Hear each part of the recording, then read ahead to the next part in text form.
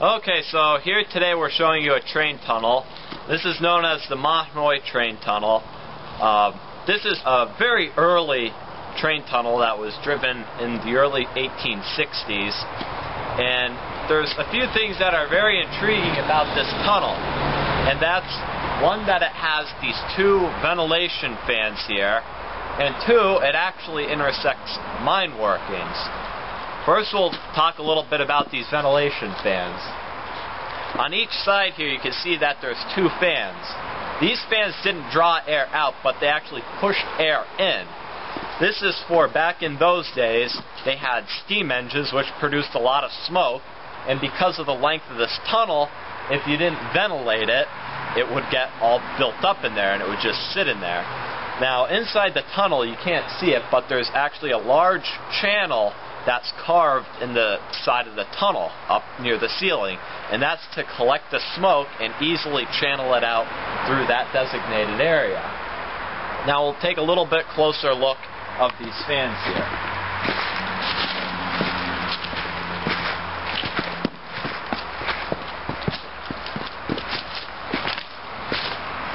Now here you can get a little idea of what the fans look like. This would have been the intake here, and the air would be drawn in through this fan, and inside there's a large shaped funnel where the air would move into. You can see it here in the doorway, this funnel shape in the doorway.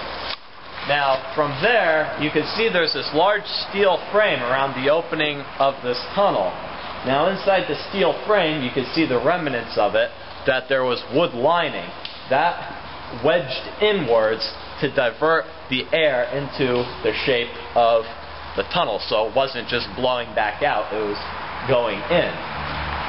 Now, earlier when I was speaking about how it intersected mine workings, about three quarters the way through when they were driving this tunnel, they actually intersected a coal vein and cut through an old mine slope.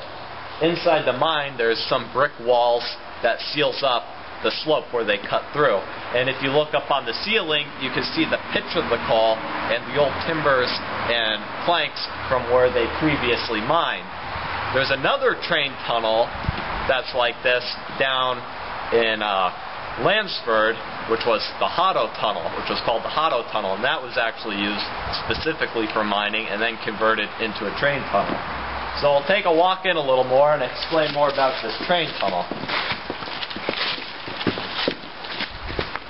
Now above us here, if Justin could point it out, you'll see two dates up on the concrete. Above us is a road, and this is the reinforcement for the road. You see two dates, 1862 and 1943. 1862 is when the tunnel was first driven, and 1943 is when the concrete was put in place. Now you can see the first about 75 to 100 feet is cut stone. That's to hold up the road above and any loose material that's above you. And you can see where this reinforced concrete is and where it squares off, that's where the road itself is. Concrete's right there on this section. And this is still an active railroad tunnel. You can see that they just ran conduit pipe through here over this past summer.